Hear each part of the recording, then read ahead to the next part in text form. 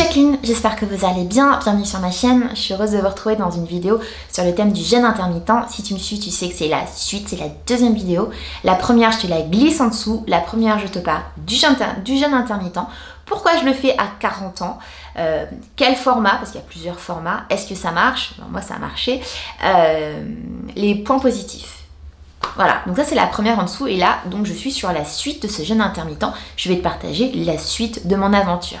Avant ça, je compte sur toi parce que si tu partages, comme d'hab, pour liker, commenter, me donner de la force, me soutenir sur les réseaux sociaux, ici c'est tout simple, hein, souscrire ma chaîne, liker, tralala. Et sur Insta, je suis au quotidien sur En cabine les copines et il y a mon blog En cabine les copines. Voilà, c'est tout simple. Alors, déjà, un jeûne intermittent, je le rappelle, je suis pas médecin, je suis pas professionnelle de santé, c'est du partage. Je ne t'encourage pas à te mettre au jeûne intermittent. Mon aventure, c'est mon aventure. Sur toi, ça peut être différent. Si tu es enceinte, pas de jeûne intermittent. Si tu, es, euh, tu as des troubles alimentaires, des TAC, pareil, pas de jeûne intermittent. Fais-toi accompagner. Il y a une solution, mais il ne faut pas rester tout seul. Si tu as des soucis de santé, tout pareil. Si euh, tu es enfant, ado, pas de jeûne intermittent, pas de régime. Le régime sur des enfants, mais non, enfin, tu vois, voilà. Euh, il faut revoir tout ça. Et le mot régime d'ailleurs, j'en veux pas. Moi, le mot régime, c'est niette. Voilà.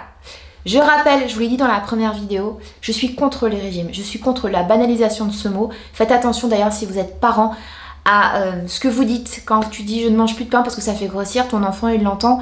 Et voilà, on arrête les standards, on arrête les... On a le droit de manger de tout, après ça, ça dépend des quantités et on ne banalise pas, on ne banalise pas le mot régime parce que c'est comme ça qu'on crée des troubles de l'alimentation. Alors, mon jeûne intermittent, moi, celui que je fais, c'est très simple. Je mange le midi, je mange le soir.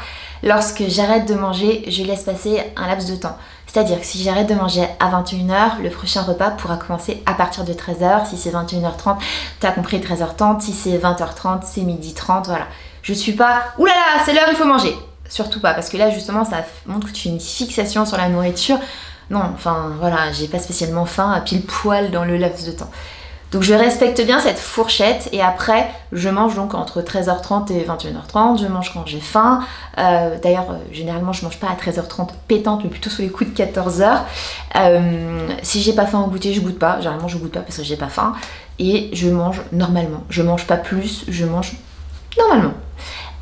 et quand j'arrête de manger, quand je suis dans la phase de jeûne, pas de sucre, pas de cuillère de miel parce que c'est naturel ou de jus de citron. Alors, il y en a qui le font, mais moi non, c'est que de l'eau, du thé, du café, de la tisane, des infusions, mais voilà, zéro calorie. C'est le, but du jeûne intermittent. Et, euh, et, je laisse comme ça mon corps, en fait, comme je l'expliquais dans ma première vidéo, euh, bon, déjà il va digérer ce qu'il a mangé le soir et tout, mais après, en fait, je suis vachement légère, vachement bien, j'ai plein d'énergie, plus que quand mon corps est dans la digestion. C'est-à-dire que je peux bosser des fois jusqu'à 14-15 heures, je n'ai absolument pas de sensation de faim. Et ça, c'est assez incroyable. Donc j'essaye déjà de pas dépasser les 14 heures, de manger euh, voilà, entre 13h30 et 14h, mais je suis pas genre, oh, il est 32, je peux manger. Non, parce que justement, on doit se libérer de tout ça. C'est important, on n'est pas prisonnier de la nourriture, de ses envies, on, ne mange pas ses émotions, on est ok. Alors la suite, c'est hyper simple, c'est que déjà j'ai ressenti un truc que je ne pensais maîtriser, mais que je maîtrisais peut-être pas aussi bien. À l'époque, je disais, quand j'ai plus faim, je le sens et je mange, euh, voilà, quand j'ai faim. Et en fait, là, depuis deux semaines, quand je mange, il y a un moment où je, reprends ma respiration, truc que je, faisais avant mais je me rendais pas compte. Et là, je sais qu'en fait, c'est-à-dire que c'est bon, en fait, j'ai plus faim. Je, donc là, souvent, je suis en train de manger, je dis, j'ai plus faim. Donc je termine une ou deux cuillères et je laisse et je mets dans un bocal en verre, je garde, je mets pas dans le plastique, je suis anti euh, tout ce qui est plastique et tout ça, donc je mets dans un bocal en verre et je garde pour euh, la fois d'après entre deux assiettes, euh, et je garde pour la fois d'après. Ça, c'est très récent. Et là, en fait, du coup, bah, je me rends compte que j'ai plus faim, qu'en fait, si je mange, c'est par gourmandise ou parce qu'il faut finir mon assiette. C'est incroyable. Parce que ça, je pensais réussir à le faire avant. Alors que non, j'ai encore passé un cap où, ben, enfin voilà. Donc après, je vais prendre un petit dessert parce que j'aime bien finir sur euh, une touche de sucre. Euh, voilà, et c'est trop, trop enrichissant parce que bah, j'ai vraiment plus ces sensations, donc j'ai aucune frustration, rien du tout. J'ai de l'énergie à revendre. Voilà, donc ça, c'est vraiment un truc qui est très récent, qui vient tout juste d'arriver dans ma vie et que je pensais maîtriser avant, parce que je maîtrisais quand j'ai faim, quand j'ai pas faim, quand est-ce que je dois manger. Mais là, c'est vraiment quand je suis en train de manger, hop, j'ai cette espèce de déclic, et ça, c'est vraiment lié au jeûne intermittent. Donc ça, c'est quelque chose d'assez incroyable. Deuxième chose, vous savez que je suis migraineuse, et ben je me suis rendu compte que depuis que je, mange sur ce laps de temps, j'ai toujours des migraines, mais beaucoup moins. Beaucoup, beaucoup moins. Parce que je sais pas te dire, mais euh, le fait d'avoir mon corps, peut-être qu'il faut autre chose, je ne sais pas t'expliquer. C'est peut-être lié à la glycémie, j'en sais rien, parce qu'en plus, moi, c'est hormonal, mes migraines. J'ai moins de migraines. J'ai pris, j'ai consommé moins de paracétamol durant ces phases de test, enfin ces phases de jeûne intermittent. Je ne vais pas dire que c'est ma solution, mais pour moi c'est positif. Ce sera peut-être pas ta solution. Je mangeais bien avant, donc est-ce que il y avait trop de glucides? Je ne sais pas te dire, mais le, résultat est là. Voilà, donc ça c'est encore pour moi un gros point positif. Je trouve que ça me permet d'être encore plus sociable parce que moi le midi souvent j'avais pas faim euh, ou je mange. Donc là le fait de faire comme ça, le week-end, j'étais un peu à l'heure espagnole et tout. Là, tous les week-ends, où avant j'étais un peu à l'heure espagnole, on fait euh, bon petit déj brunch euh, le midi et tout. Ben là, en fait, j'ai remis. Euh, le matin, du coup, je déjeune pas, je me fais un café avec les enfants et tout, mais je vais pas manger parce que bah, je suis dans ma phase de jeûne et je n'ai pas faim. et après, le midi, ben, on remange ensemble, je vais faire un plat, machin. Donc, on a repris des moments conviviaux que j'avais un peu transformés en brunch et tout, qui étaient conviviaux, mais c'était différent. Donc, ça, je suis très contente. J'ai réussi aussi euh, durant les vacances là, de la Toussaint à skier des semaines où du coup j'avais de la famille et donc où on se levait justement à l'heure espagnole où on faisait des brunchs et donc on mangeait pas le midi donc à casser clairement mon jeûne intermittent et à ne pas reprendre. Donc euh, je mangeais euh, bah, pendant le repas où on était tous ensemble, c'est important. Et donc cette semaine où j'ai un peu pété mon jeûne intermittent, oh, je l'ai cassé on peut le dire clairement, je n'ai pas repris, j'ai stabilisé j'ai bu un peu d'alcool, ce que je bois pas au quotidien, parce qu'on avait du monde et tout, un petit verre de champagne, si machin. Il y a eu des événements où on a mangé, ce qu'on a fait la fête et tout. Je n'ai pas repris. Pourtant, j'ai fait euh, deux restos on a mangé des frites. C'était quand même bien copieux. Il y a eu un soir, bah, le soir d'Halloween, où on a mangé euh, très copieusement et on a, bu, on, a pas mal picolé et tout. Je n'ai pas repris. Voilà. C'est cool. C'est cool. Euh, franchement, du coup, sur ce jeûne intermittent là, du début jusqu'à la fin, je suis hyper contente. J'ai perdu, donc par rapport au début, j'avais perdu 1,8 kg. Là, j'ai perdu, j'ai envie de te dire, entre 2,5 kg et 3 kg. C'est-à-dire que si je suis honnête avec moi-même, mon poids habituel, j'avais pris euh, 1,5 kg. Et comme je te l'ai dit cet été, j'avais repris un petit kilo euh, avec cet abus de sel et tout. Voilà, mais en gros, par rapport à quand je me suis pesée, j'ai perdu entre 2,5 kg et 3 kg. Mais c'est une belle perte et surtout, je stabilise. Et quand il faut sauter, euh, enfin casser le jeûne intermittent, ça marche vachement bien, quoi. C'est-à-dire que euh, bah voilà, le samedi dimanche, euh, on est en famille, euh, on fait un resto ou il y a un brunch, donc du coup, je suis plus dans l'heure et tout, c'est pas grave, tu vois. Et ça, franchement, c'est cool. Je veux pas que ça soit, comme je te le disais, c'est l'heure, faut manger une fixation, une fixette. C'est important d'être tranquille, tu vois. Quand tu fais ton jeûne intermittent, parce que c'est le quotidien, bah tu le fais, t'as des impératifs, t'as un moment et tout, t'es en vacances avec tes enfants, c'est pas grave. Et la preuve en est, ça fonctionne. Donc je te récapitule tout ça.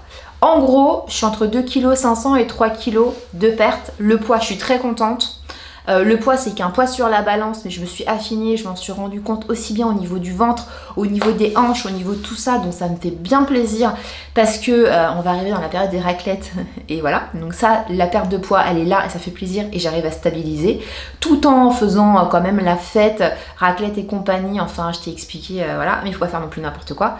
J'arrive à de temps en temps casser le jeûne intermittent parce que moment conviviaux et que je veux pas m'en priver et je tiens bon, donc ça c'est cool. Très important pour moi, je te l'ai dit, la migraine où j'ai quand même vu, euh, c'est ça en fait qui fait que quand j'arrête trop longtemps le jeûne intermittent, j'ai cette épée de Damoclès qui me dit ouais mais ça t'a quand même vachement régulé ta migraine, donc retourne-y. Alors je te récapitule parce que là j'ai fait beaucoup de blabla, ces points positifs, cette deuxième vidéo, qu'est-ce que j'ai en plus à te dire? 1. J'ai une ligne directrice pour je fais quoi? J'ai 40 ans, je veux garder la ligne et tout et tout. Ça fonctionne vraiment bien sur moi. Preuve en est, je me suis affinée, j'ai perdu 3 kilos. On le voit pas parce que c'est pas 3 kilos qui fait que je suis différente de celle que j'étais avant. Voilà, mais moi ça me permet de me sentir bien dans mes vêtements, de me sentir affinée et euh, de profiter. C'est-à-dire que si une fois je veux euh, pas faire le jeûne intermittent ou deux jours ou même une semaine, c'est pas grave parce qu'après je le referai. Donc ça vraiment pour moi c'est une ligne directrice et c'est top. Deuxièmement, je me suis rendu compte que quand j'arrête le jeûne intermittent, mes migraines reviennent assez facilement, alors que quand je fais le jeûne intermittent, je prends quasiment pas de paracétamol. Ça, pour moi, mais c'est juste. Euh, est-ce que c'est une gestion de la glycémie qui est différente? Est-ce que ça joue sur mes hormones? Je sais pas te dire, mais sur moi, en tout cas, ça m'apporte du confort et ça.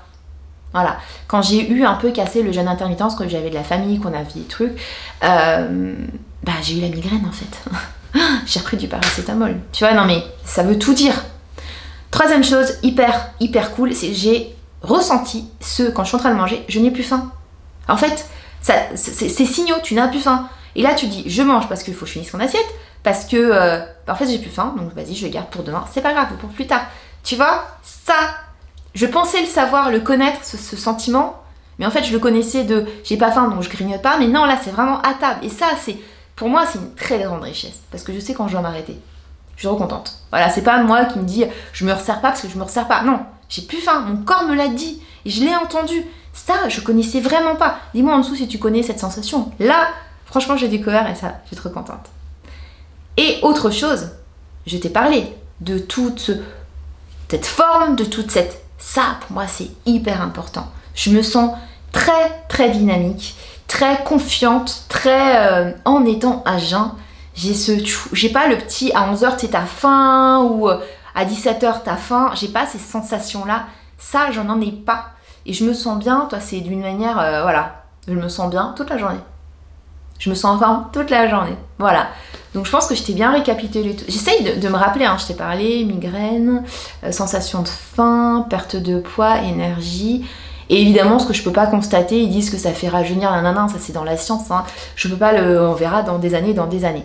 Et ça me permet de manger ce que je veux, oui, de manger ce que je veux, je suis pas au régime, je bois pas d'alcool, ça c'est certain, parce que l'alcool c'est bourré de, calories, mais ça me permet de manger ce que je veux quand je veux et de manger mieux, oui, euh, c'est-à-dire que je suis en train de supprimer toutes les farines blanches au maximum pour les passer en farine complète. Et ça, c'est grâce au jeûne intermittent parce que du coup, comme le midi je mange, et eh ben j'ai décidé que je mangeais des choses intéressante.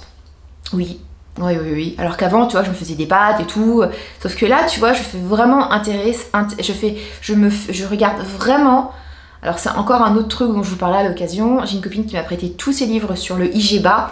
Je retiens pas tout de IGBA, mais je prends des petites, des petites astuces, des petites infos pour mieux manger dans mon quotidien, surtout pas trop au régime. Et donc euh, les céréales euh, complètes, euh, les, la gestion des glucides, tous ces trucs-là, voilà, ça me fait beaucoup me remettre en question et euh, prendre soin de moi. Et ça, je pense que c'est le point peut-être le plus important. Euh, voilà. Fin de ce sujet. Je sais pas si je vous ferai une troisième vidéo sur le jeûne intermittent. Euh, je suis contente de l'avoir testé. Et je vais continuer. De l'avoir testé aussi, c'est ça que je voulais vous dire, avec des moments où j'arrête pour vous dire est-ce que ça marche, est-ce que ça marche pas? Il y a un moment où je me suis dit, je stagne au niveau du poids. Et là, en fait, deux semaines après, bam, j'ai reperdu un kilo. Franchement, ça fait trop plaisir. Et en plus, la semaine où j'ai reperdu le kilo, c'est la semaine où on a un peu. Euh, j'ai un jour j'ai arrêté, un jour je l'ai fait parce que euh, voilà, j'avais du monde et je m'adaptais aux gens autour de moi. Voilà, donc je suis vraiment contente de m'y être mise. J'ai l'impression de mieux manger, d'être tout en forme.